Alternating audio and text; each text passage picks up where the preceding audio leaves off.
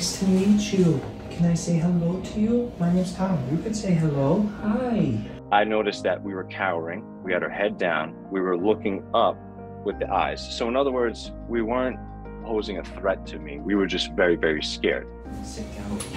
So that's why I felt comfortable enough to lay down on my back and offer my face. It's a kind of a sign of submission to a to a submissive dog, saying, "I'm not going to hurt you."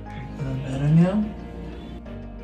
I could easily go over to this dog, put a muzzle on, strap it on, say, "Okay, I'm going to lift you up, put you on the table, do my physical exam." You are no longer in the corner. I would have got just as much done. However, w- what's the lasting damage that would have happened for that pet versus building some trust? You like that? Does that feel good?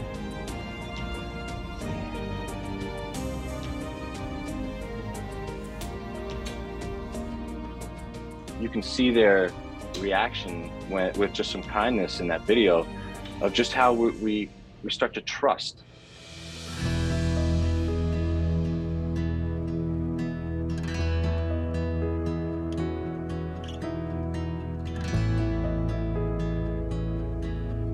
I was about seven, eight years old. I was just sitting in the backyard and a big black and tan dog came in. This thing bit got down, its hackles were up, and it was getting ready to pounce on me.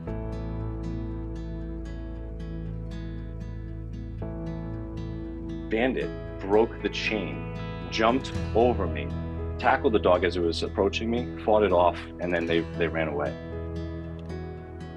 That stuck in my mind as far as like these animals not only love you, the compassion that came out of that, and just the trust for animals just made me really think I want to work with animals uh, for a living. The love that I had for my dog saving my life. When you're a kid, you don't appreciate as much reflecting back on it, but it definitely sparked something inside of me. Is Cooper in here? Hi, Cooper. What's going on? Cooper. Hi, buddy. So when I go into Hello. a room and I have positive energy and good vibes, Oh, you're nervous. These patients are going to read it right off the bat. Because when I close that door, I'm either a threat or I'm a friend or somewhere in between. Give a paw. I want to let them know I have nothing but love for you.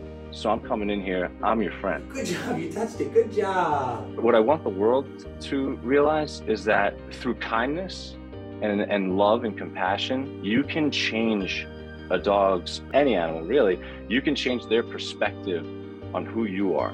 And you could reprogram their entire brain to be like, I could trust this individual.